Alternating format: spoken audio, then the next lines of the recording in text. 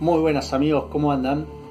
El día de hoy vamos a repasar unas palabras sobre la adversidad, sobre los tiempos duros, cuando todo va en contra y preferentemente va a ser sobre este libro que es de Donald Trump. Eh, él cita unas palabras de, de algunas celebridades y luego también añade unos comentarios adicionales. En palabras de Teodoro Roosevelt, él cita un párrafo que es bastante contundente y se los paso a leer.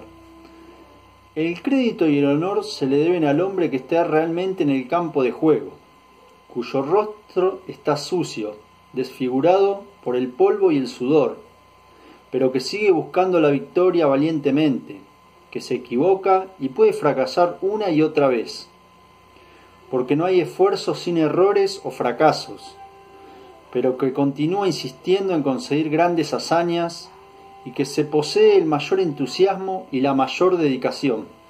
Estas palabras, como dije antes, pertenecen a Theodore Roosevelt, pero las cita Donald Trump en su libro.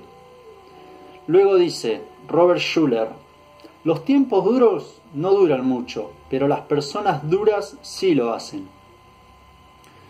Luego finalmente Donald Trump añade, los tiempos duros y difíciles no me deprimen, son para mí como una nueva fuente de energía.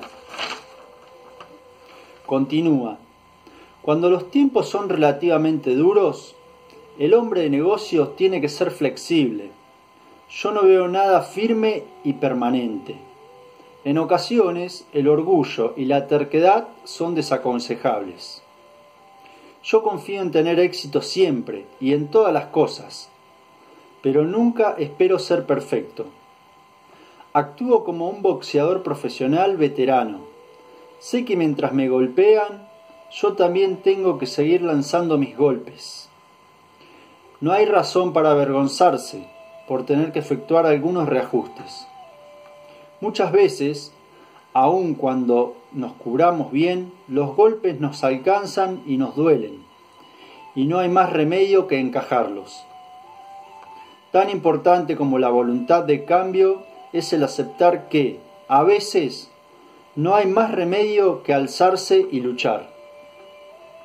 Bueno, en estas palabras, Donald Trump hace una analogía a lo que es la vida real, la vida de los negocios, que no siempre uno va a tener éxito, no siempre las cosas van a ir bien, sino que lo que trata de recalcar es la tenacidad, ser tenaz, ser perseverante, si uno se cae, saber recuperarse pronto, asumir la caída, el golpe, pero a la mañana siguiente estar de nuevo en primera fila, básicamente es lo que trata de decir y yo así lo entiendo, ¿no?